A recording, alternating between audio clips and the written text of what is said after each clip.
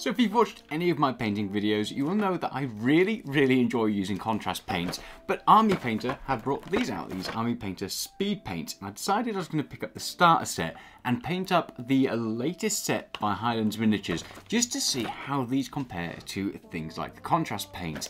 Now for me, I just love how quick and easy it is to get the base layer onto the models using things like contrast paints. And these kind of promise to be a very similar thing. So I'll be really interested to see what the results are compared to things like contrast paints, do they do it better? Because obviously these are so much cheaper, and especially I know in places like the US, contrast paints are a lot more expensive than your standard paints. So if this can save some money and I can swap out some of my favorite colors from contrast paints using these speed paints, well then I'm sold. So I'm gonna open these up and have a quick look and then we'll get on with the painting video. So I got cracking with my Highlands miniatures models and I tried to stick with a similar colour theme to what I've used in the past which is like these yellows and reds which is good considering that the starter set of the speed painters doesn't really include a massive amount of colours so I was pretty limited with that. Now the first one that I tried was their flesh colour because I absolutely love the Guilliman's flesh for the contrast paint. Now this isn't going to be a video where I directly compare all of the different colours. I'll probably go into a deeper dive in another video, but obviously it is kind of on my mind with them being some of my favourite paints. And the first thing I noticed when I started to use these speed paints was that they're a lot more watery. They felt quite like I was using a wash, just a thicker wash anyway, so it was putting more colour onto my model and obviously filtering through. Now this isn't necessarily a bad thing, it made them a little bit easier to work with so I could kind of slap it all onto my brush and then get it onto the model really quickly. But it did mean that you had to be more controlled. So with contrast paints I found that they kind of stick to where you put them. So if you put them near an edge or anything like that, they normally stay against that edge but they don't flow off into the crevices and stuff quite so much. With the speed paints they really do. If you overload your model it's going to start to run everywhere. So Gravity plays a very big part in applying these, at least that I found in my experience. So if I put them on like the top of the body, for example, and they were just above a belt or a waistline, if I put too much on it, would start to leak over and go into the belt and everything. So that's absolutely something worthwhile bearing in mind as you're using it. Try not to overload your brush, you don't want to underload your brush because otherwise you don't get the great effect. So as I started to kind of get used to these and get a bit more control of it, I went for a few different colors. So I did the yellow on the trousers, and I've got to say, this is one of my favorite yellows. I really, really, again, like the contrast paint yellow, and I think it looks fantastic at times. But one thing that I've noticed that is a massive, massive difference with these speed paints is they come out so much smoother.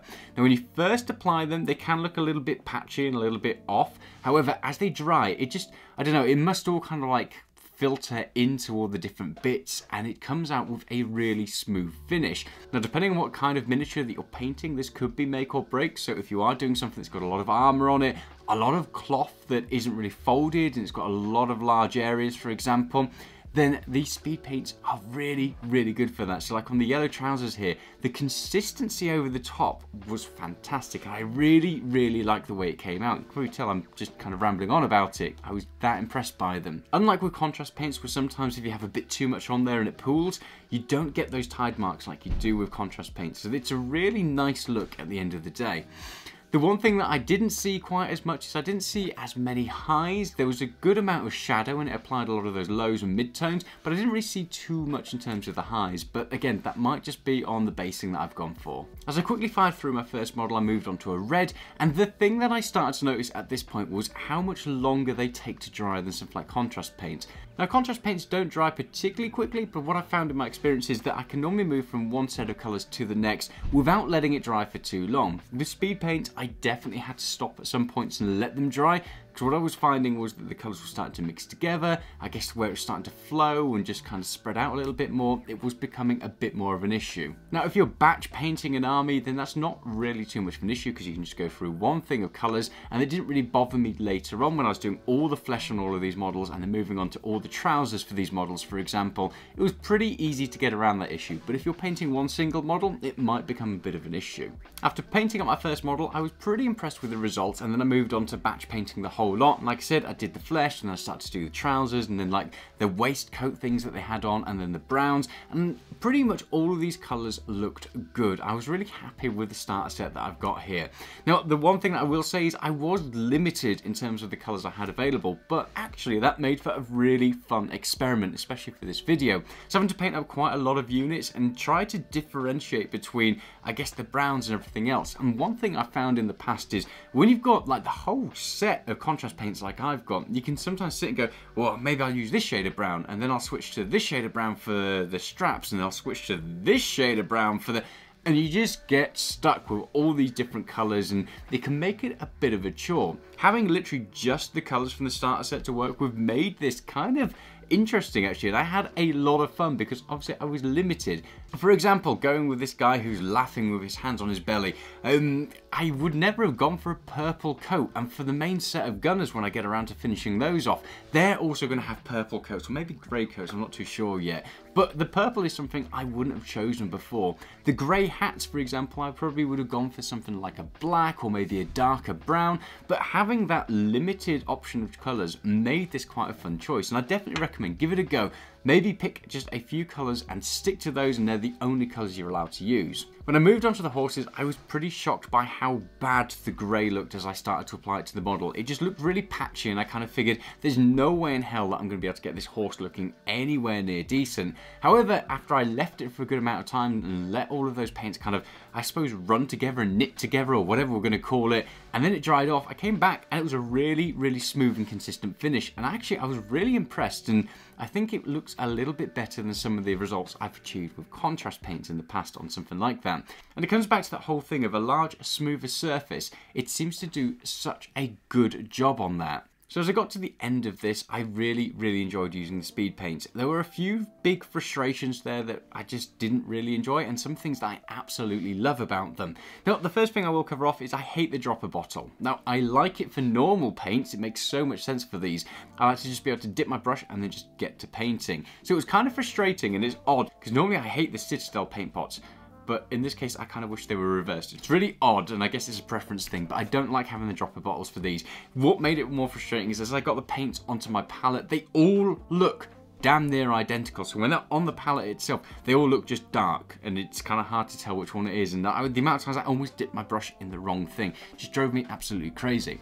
The other thing that I wasn't a fan of was the drying time. These are really wet paints and very runny paints and you kind of expect that, but they're a lot, lot, lot wetter and runnier than I expected them to be. If you overload your brush and you don't have good brush control, you can make an absolute mess of your model. So just bear that in mind. You do need to be careful with these far more careful, at least in my opinion, than you do with the Citadel Games Workshop contrast paints. And then obviously the fact is you've also got to be patient and let those dry. If you start to get into it too soon, you're gonna start to blend your colors and get those mixed up and make another big mess. However, the smoothness of these things is really, really good. And it is one thing that I dislike about the contrast paints, is the fact that they can leave a lot of tide marks and sometimes it just looks a bit messy and you have to go over and correct it.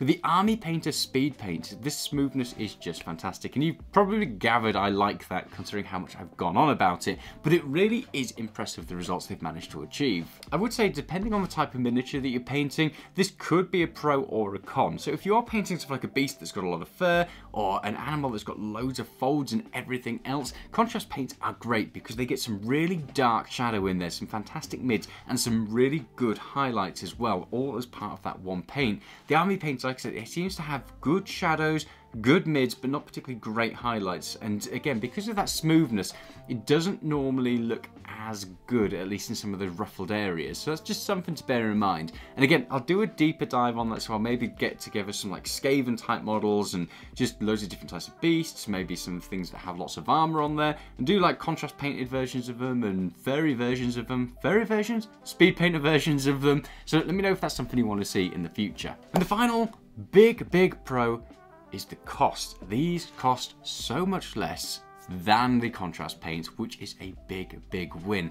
So I've got to say, these are a great thing to maybe kind of pick and choose some of your favorite colors, have a look at some YouTube videos, maybe some reviews that are out there as well. Go through the lines and see which colors stand out, which people recommend and stuff like that. And you can probably start to replace a lot of your contrast paints with these.